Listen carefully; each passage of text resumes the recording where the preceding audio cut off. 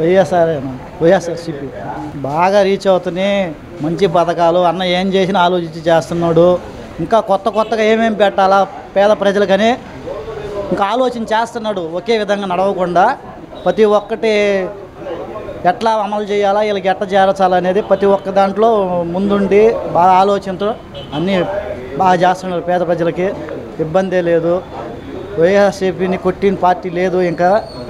ఎంత ఉత్తమ మాటలనా ఇప్పుడు అధికారులు ఏ గాడికి వేరే పార్టీని పడేయాలనే చూస్తారు. అది మనకు తెలిసిందే కదా.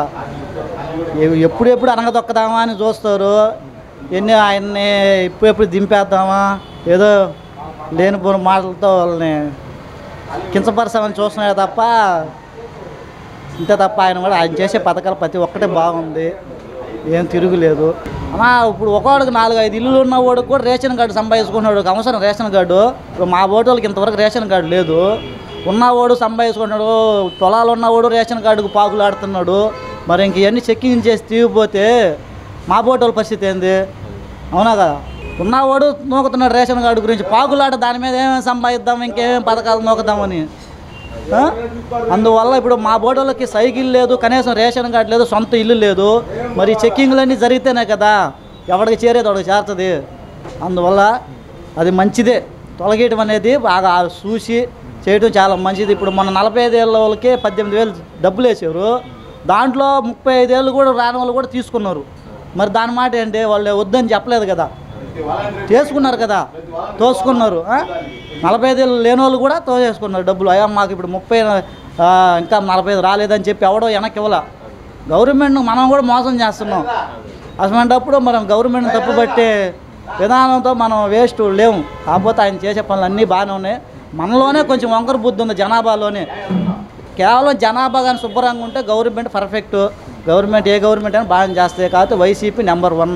చాలా బాగుంది నా ముసలోళ్ళని ఇప్పుడు తీసుకెళ్ళేదానికి చాలా ఇబ్బంది పడేది. చాలా అవస్థలు పడేది. చాలా ఇసుక్కుండేది ఇంట్లో వాళ్ళు.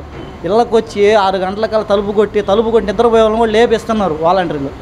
అది చాలా గొప్ప విషయం. రేపు నెల నుంచి మన ఇళ్ళకే రేషన్ ఇస్తామంటున్నారు. రేపు నుంచి అన్నీ రెడీ అయిపోయినాయి. అది ఇంకా చాలా బాగుంది. మెయిన్ కావాల్సింది పేదవాళ్ళకి రెండు విషయాలే కాబట్టి ఆ రెండు విషయాలు నెంబర్ వన్గా ఉన్నాయి. ట్యూబ్లో నిలబడి కొంతమంది అయితే పడిపోయి చాలామంది చనిపోయి ఉన్నారు కూడా. ఎండాకాలం వచ్చి వడదెబ్బ కొట్టడం చాలామంది కూడా చనిపోయి ఉన్నారు. దీని ద్వారా.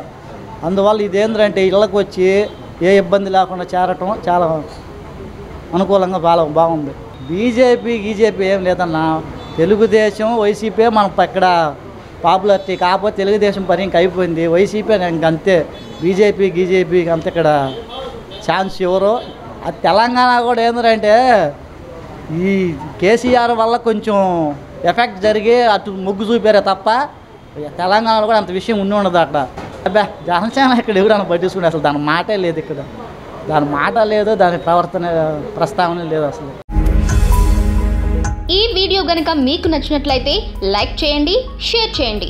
మరిన్ని వీడియోస్ కోసం మా ఛానల్ను సబ్స్క్రైబ్ చేయండి.